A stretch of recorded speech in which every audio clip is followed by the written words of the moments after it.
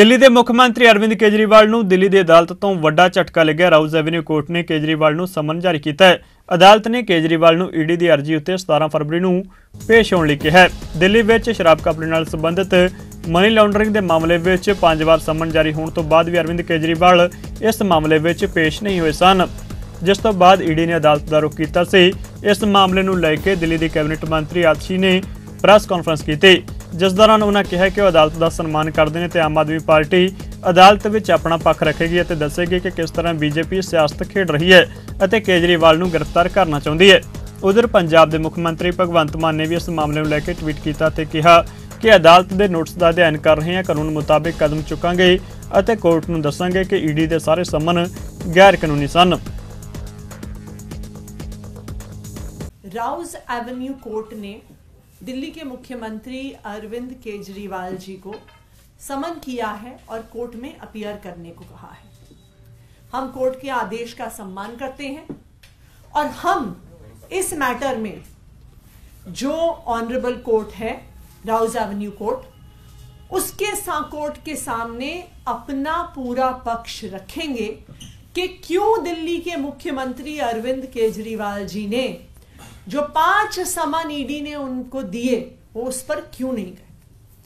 Number one और सबसे महत्वपूर्ण, हम ऑनरेबल कोर्ट को ये बताएँगे, हम न्यायालय को ये बताएँगे कि जो पाँचों समन ईडी ने इशू किए, ये शत प्रतिशत गैर कानूनी थे।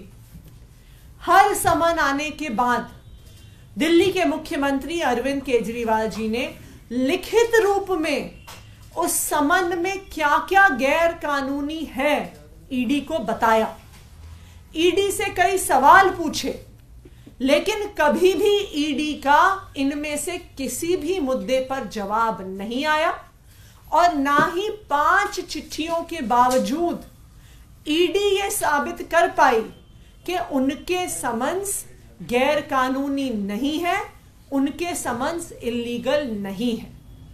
तो ये जैसा कहते हैं कि प्रत्यक्ष ही प्रमाण है। ईडी का इन चिट्ठियों को जवाब ना देना, ये बात दिखाता है कि ईडी के पास कोई आधार नहीं है इन समन्स की लीगैलिटी को प्रूव करने का। दूसरी बात, हम राउस एवेन्यू कोर्ट को ये भी पूरा सीक्वेंस बताएँगे कि किस तरह से पहले Bharatiya Janata party press conference करती है। प्रेस कॉन्फ्रेंस में कहती है कि अरविंद केजरीवाल जेल जाएँगे। भारतीय जनता पार्टी ये कहती है कि ईडी अरविंद केजरीवाल को अरेस्ट करने वाली है और भारतीय जनता पार्टी की प्रेस कॉन्फ्रेंस के तुरंत बाद ईडी का समन आ जाता है। ये क्या दिखाता है? ये दिखाता है कि ये समन किसी लीगल आधार पर नहीं भेजा जा रहा। ये समन किसी जाँच के लिए नहीं भेजा जा रहा। ये एक राजनैतिक साजिश है, जिसके तहत ये कोशिश की जा रही है कि दिल्ली के मुख्यमंत्री अरविंद केजरीवाल जी को ईडी के ऑफ़िस बुला के अरेस्ट कर लिया जाए। ऐसा कैसे हो जाता है? कि एक दिन भारतीय जनता पार्टी की प्रेस कॉन्फ्रेंस होती है, उसके अगले दिन एक समन आ जाता है। भारतीय जनता पार्टी की दूसरी प्रेस कॉन्फ्रेंस होती है, उसके बाद दूसरा समन आ जाता है। तीसरी प्रेस कॉन्फ्रेंस होती है, तीसरा समन आ जाता है। तो जो इन समन्स का भारतीय जनता पार्टी की प्रेस कॉन्फ्रेंसेस के साथ को रिलेशन है, और जो अरविंद केजरीवाल जी को अरेस्ट करने की, गिरफ़्तार करने की साजिश है ये भी हम कोर्ट के सामने रखेंगे।